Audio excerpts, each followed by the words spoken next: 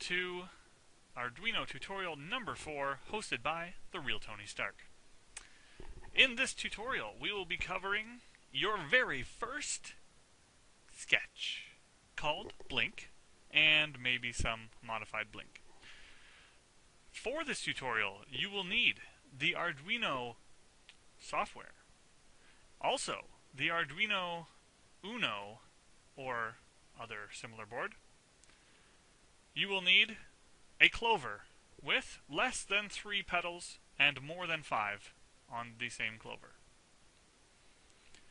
So moving on, let's go to our very first sketch. Okay, now when I say sketch, of course, I mean our very first block of code that we'll be using. Uh, we're going to just right away, um, let's make sure that your uh, well, your Arduino is plugged into the USB port. When you when it is, you will see this wonderful green light that is on, which means it is connected. Okay, you may see an orange light on there as well, but the green is the important one. That means we have power. So, moving on to our very first code. Well, if you've watched my previous tutorials, which I highly encourage you to do, um, you will have already learned the basic structure of how this interface uh, works, as well as what all of these wonderful pins do on the Uno. So using that information, we're going to make our very first sketch work. So here we go. Uh, the first thing we want to do is go up to File, Examples, Basics, Blink. And we're going to make that full screen here. So first thing you'll notice when you read through this is the block of comment. Um, most good programmers who will provide a sample um, piece of code will have some indication of what it does at the beginning um, put in these comment blocks here. So it says blink, turns on an LED for one second, then off for one second repeatedly. Okay, and this example code is in the public domain, so anyone can use it. Great. Um, so this is the real important line here. This is what the code is designed to do, and this is what it will do as soon as we upload it. So let's go through, and well, actually, let's first, let's just upload it to our board. So make sure in your tools, in your serial port, that is selected properly for this uh, USB cable. As well, the board is selected Arduino Uno or whichever board you happen to be using at this moment.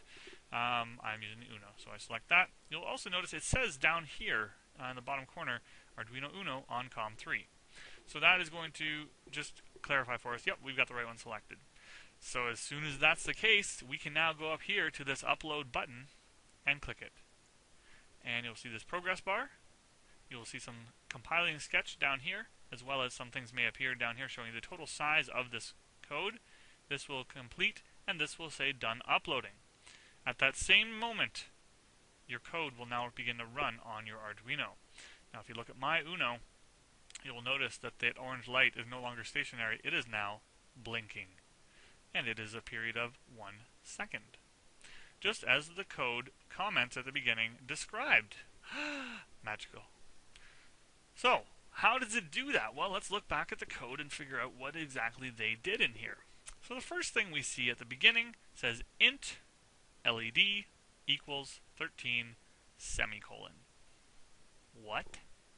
Well, of course, this LED is describing this LED on the board. Um, why is it 13? Well, if you've watched my previous tutorial, you'd notice uh, that that also is the same number that the LED is connected to on this pin. So there's automatically a LED put on the board, so you don't have to have anything else in order for this to work. Okay. Um, and what's great is you could take an LED and actually pop it in properly into the 13 and the ground pins, and um, this will now be the LED that is flashing. Okay simultaneously with the other one.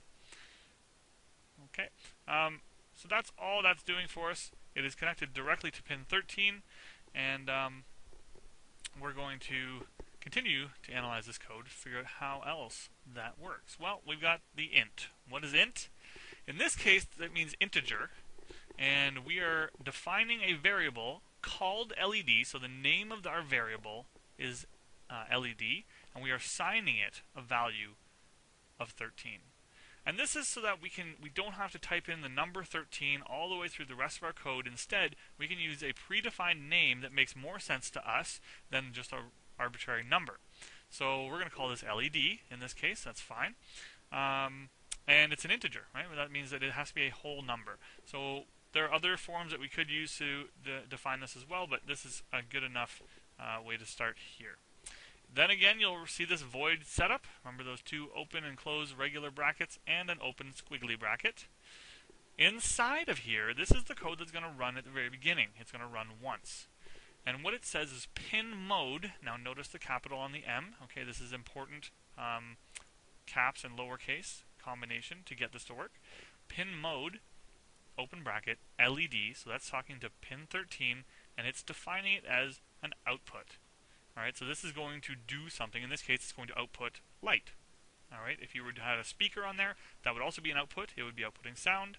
If you had a motor on there, it would be outputting motoring movement. Okay, so all of those would be outputs. They're things that we want the Arduino to do to put out into the world. Okay, and then a close bracket and a semicolon. So the semicolon up here is very important because it's the end of a statement where we're telling Arduino do this.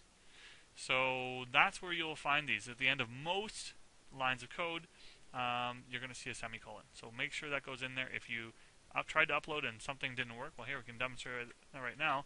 Oh no, there's no semicolon. Upload. what is this?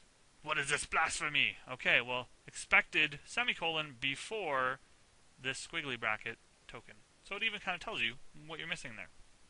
Uh, it'll say blink.ino in function. Okay, so in the void setup function, which is here, something is missing. Expected this before this.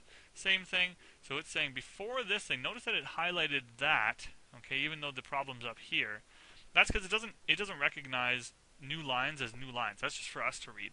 So what we're looking at here is somewhere before here, there's got to be a semicolon. Oh, that's where it is, right there. Okay, now again, this has uh, taken many years of practice to recognize some of these things as quickly as I do, but it's just trial and error. It's where I've, I've just been typing my own code, and I forgot to put a semicolon, and it'll say something like this. Okay, problem solved. I try to upload it now, Compiling sketch, there's no errors here. It's going to do the same thing.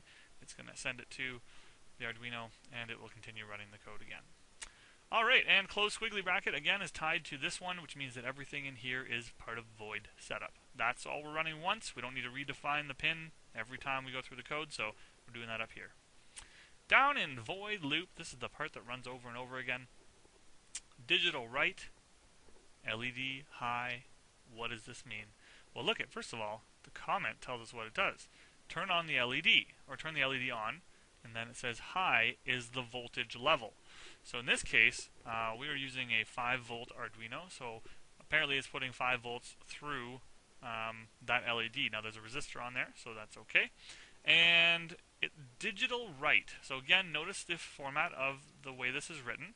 The first word is all lowercase, then the next one starts with a capital. Okay, you'll see that in all of these commands uh, that have two words to them. Um, so digital write is telling it because it's a digital pin, and again you can denote all of these on this side as digital, uh, so they can be either on or off unless they are, of course, those six wonderful PWM pins, which we will cover later in another tutorial. Um, but that's digital is where we want to write. Okay, so writing means sending a value to that pin. So in this case, we're talking about pin 13. Okay, and that is why it's LED. We can use that through the entire code. It knows what we're talking about. It's pin 13. So we've got pin 13 and now we're saying high. Now notice again the color of high is the same as output. This is a specific defined value that Arduino will recognize. So high in this case is voltage on, all right, at maximum whatever that is. Uh, so we can output that through pin 13. Since there's an LED connected to it, we will see that happen as in the form of light. Close bracket, and there's that semicolon again. So we've told it what to do. Right now, it's going to turn that thing high, which means turn the LED on. The next line says delay 1000. Okay, now delay is very useful um, for starting programmers. It allows you to pause the code for a defined amount of time. In this case, 1,000 milliseconds or one second. Um, and here it tells us that wait for a second. Okay, so delay uh, is all lower cap or all lowercase. Uh, it's in orange. It, tells us it's a defined function that Arduino recognizes, and whatever we put inside these open and closed brackets, that value is what it's going to uh, wait before doing the next piece of code. All right, again, semicolon afterwards, and then the next line, digital write again. Now, even though we're telling the LED or the Arduino to do something with this pin, um, we're still using the digital write function. This time, however, it's low. Okay, opposite of high. Low means essentially zero volts. All right, we want to put zero volts through that now, which means turn it off. Okay, and then we delay another one second. Otherwise, if we didn't have this in here, okay, let's just take it out. Actually, I'm not going to delete it. I could delete it. Instead, I'm going to put in a comment marker, which means this whole line is now comment. And I'm going to upload it. So if I upload it and we watch the change on my, uh, so it was flashing every second before, now you'll see it appears to stay on. Why is that? That's because in our code, what I just told it to do was turn on, wait a second, then turn off, and then it will go back to the beginning and turn on. But this is happening in a fraction of a millisecond that it's turning off. So that's why it appears to stay on. Okay, so it's important that we, that's why they've included the second delay in here to say make sure you stay off also for a second. So when I upload that again, now that I've removed the comment markers, uh, we will see that begin to flash back and forth. Okay, so what I encourage you to do is to change these numbers. This is the beauty of this code is once you kind of see what's going on here, just try changing some values and see what it does. So I'm going to say let's make this 100 and let's leave that at 1000. Let's just let's try that, see what happens. So I'm uploading my new code and so now the period of time that it's on is much shorter than the period of time it's off. It's still a blink, uh, but that reflects the code that I just put in there. So what if I make them both 10? Uh, I don't know how well it's going to come through on the webcam, but uh, this is 10 milliseconds. Okay, and it appears to be on, but if you get right in there, you can actually see it flickering ever so quickly, um, which kind of helps you define the lower limit of what the human eye can perceive in terms of a flashing LED. So looks about 10 milliseconds. You can kind of play with that yourself, but definitely play with this thing. Just try changing some stuff. Um, what happens if we change the name of our uh, variable? So let's call it um, monkey poop. Okay, uh, and upload. Ooh, now what's this saying here? LED was not declared in this scope. Okay, in two spots here, it's saying in void setup and in void loop, it, LED was not declared in the scope. So the first one it's highlighting here for me is this line. Oh, I'm still using the variable name LED. Well, that was never defined at the beginning of our code. And notice that the definition of these variables come before void setup. Okay, They have to happen before this even runs its initial code. That's where we need to define our variables if we want them to be, to be used throughout the entire block of code. So, let's go through and change our other one, monkey poop. Now this is not a great variable name for two reasons. One, because it's gross, and two, uh, because it has nothing to do with what we're actually referring to on our Arduino or in our circuit. Um, so if I change all the values of where this was and I try and uh, let, us just verify it, see if my new code is properly written.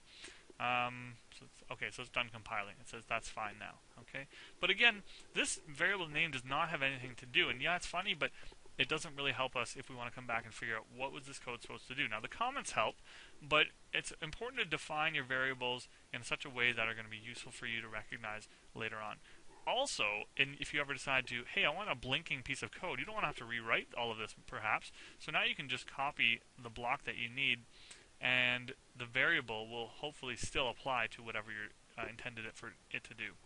So maybe a more appropriate um, variable name for this would be uh, LED pin. Okay, because um, we're not specifically talking about an LED. In this case, we're talking about LED pin. Um, and then we can change all that. Now, if you don't want to go write them all in here, you can press Control F, which is find. You can also go up here to edit find. Uh, and then we'll just type in, we want to find monkey poop. I want to replace it with LED pin. Now notice the way I wrote LED pin, the same way that they write their uh, functions here. I'm doing with a lowercase for the first word and an uppercase first letter of the second word. Uh, and let's replace and find. There we go. Okay, so now we've got that changed throughout our entire code.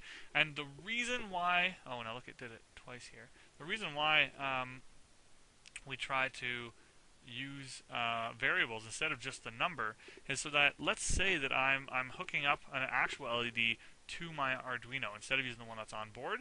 And let's say I want to change it from a 13 to I don't know 12 okay? Just want to move one pin over because of whatever reason.